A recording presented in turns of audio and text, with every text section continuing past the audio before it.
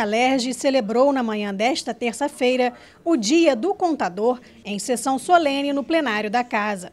Na ocasião, autoridades e representantes de instituições de contabilidade destacaram o papel desses profissionais na organização das contas, tanto de empresas como também do governo e em prol do desenvolvimento do Estado.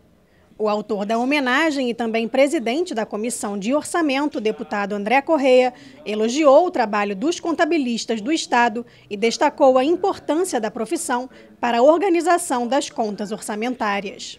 Imagina o poder público sem contador. Imagina o setor privado sem contador. Né? Então, na verdade, quem organiza a informação, quem estrutura as coisas, né, é, é essencialmente o, o profissional de contabilidade. Então a gente, ao homenagear hoje, a gente faz justiça a esses 54 mil é, profissionais de contabilidade do nosso estado, que estão espalhados pelos 92 municípios. Né? E temos aprovado leis aqui é, que fazem justiça à categoria. Enfim, um dia alegre, um dia feliz. Viva os contadores do nosso estado. O presidente do Conselho Regional de Contabilidade do Estado agradeceu o apoio do parlamento às pautas do setor e destacou a importância dos projetos aprovados na casa, como o de valorização da mulher contabilista e o de atendimento preferencial, além da proposta de cadastro compulsório, que ainda está em tramitação.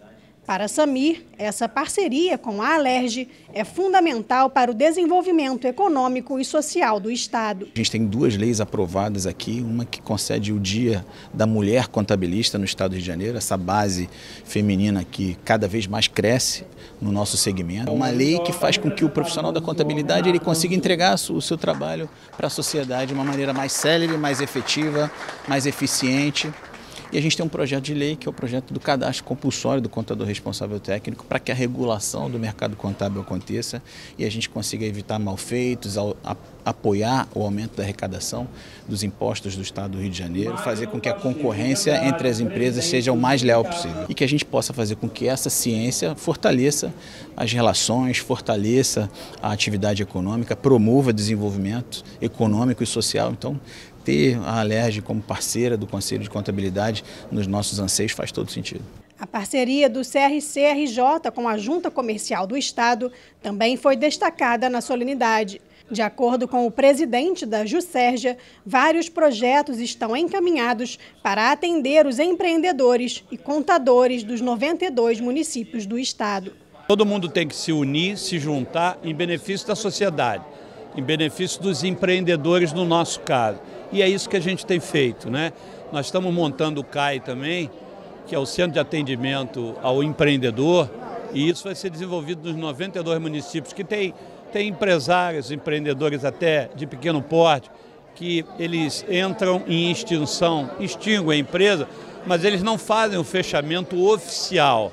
Então é importante fazer esse fechamento oficial para que eles não sejam prejudicados. Além disso, nós também estamos com outro projeto aí, que é de registro empresarial, onde nós estamos sempre reciclando com todos os contadores do estado do Rio de Janeiro. Então... Ao final da sessão, foram entregues diplomas a representantes da categoria em homenagem ao Dia do Contador.